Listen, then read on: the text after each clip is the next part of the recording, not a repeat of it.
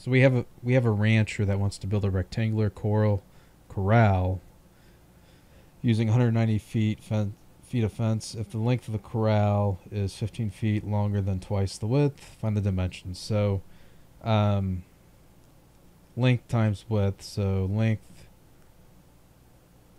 two lengths plus two widths equals 198 feet. So that's that's the perimeter. Um, 100, 190 feet of fence total. Uh, so if the length of the corral, uh, so length is equal to 15 feet longer than twice the width. Um, we want to figure this out. All right, so we can just sub this in. So 2L, but instead of L, we'll have 2W plus 15 plus 2W is equal to 198. So we get 4W plus 30 plus 2W is equal to 198. So 6W, and then subtract 30 from both sides. So I end up with 168 divided by 6 divided by 6. I have no idea what that is. Hold on.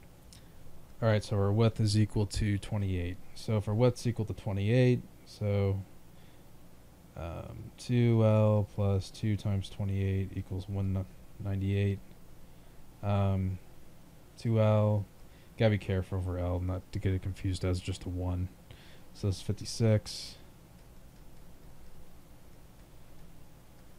That's 142, and then divided by 2.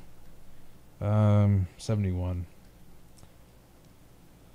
Alright, so length is equal to 71, and width's 28 feet. Alright, let's just check it really quick. So our answer is C, 28 feet for the width, 71 feet for the length. So 71, does it equal to um, twice 28 plus 15? So 56 plus 15 gives us 1, carry the 1, 5 plus 1, 5 plus 1, 6 plus 1, 7. Yep, that checks out. So answer C, 20, 28 feet by 71 feet. All right, I hope this helped you out. Thanks for watching. You have a great day.